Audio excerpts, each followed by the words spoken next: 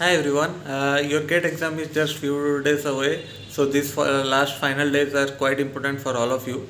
I would suggest to don't try anything new, don't go through the new topics or try new variety of questions because uh, it won't help you in these few days. Um, but rather you can also try to build more and more confidence on the topics which you have studied by going through the short notes or going through the previous year questions or the star mark questions which you have done. And I would suggest you to give the test series in the preferred time slot as your gate exam. But avoid uh, giving test series at least 4 to 5 days before the gate exam.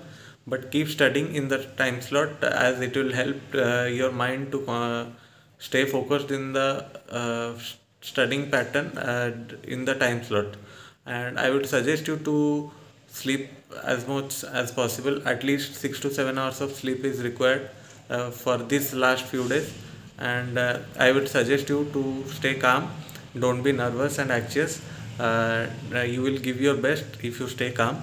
Practice some calming practice some meditation techniques or go through some calm music to stay calm throughout these 13 to 14 days